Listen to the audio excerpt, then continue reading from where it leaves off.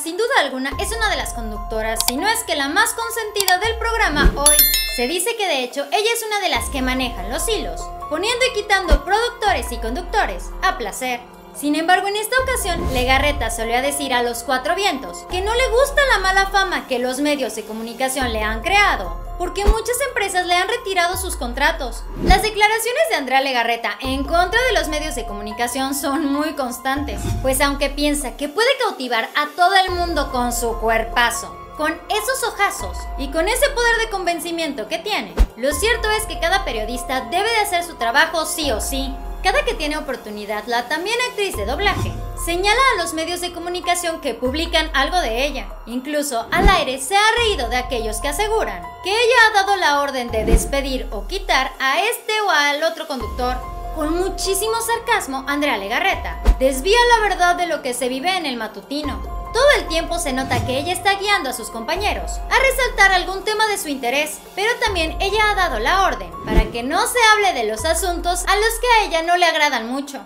Si nos ponemos a pensar, nunca, nunca en el matutino se habló acerca de la polémica que generó su marido Eric Rubin al asegurar que Salma Hayek fue una aventura de una sola noche. Esto sucedió cuando estaba soltero, pero lo dijo cuando ya está casado y tiene dos hijas. Esas declaraciones sacaron las conas verdes de mucha gente, pero se pusieron más verdes que Hulk cuando Andrea dio una entrevista apoyando a su esposo, minimizando por completo sus declaraciones. Este hecho hizo que Andrea Legarreta perdiera muchos contratos de empresas, porque nadie quiere relacionarse con una persona que señala a las mujeres y que apoya a los hombres que únicamente están de acuerdo con otros hombres.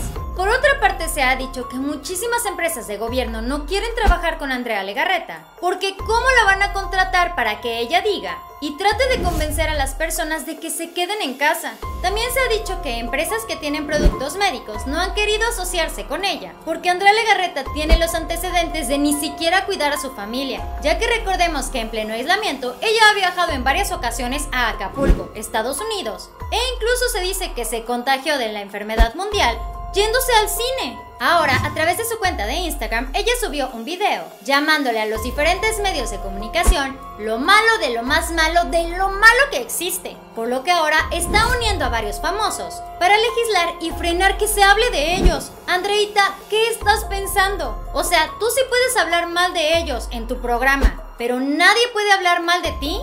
Tristemente, Andrea, te lo tenemos que decir, no se puede tener lo mejor de dos mundos. Si tú estás dispuesta a hablar mal de las demás personas, tienes que aguantarte al momento en el que hablen mal de ti.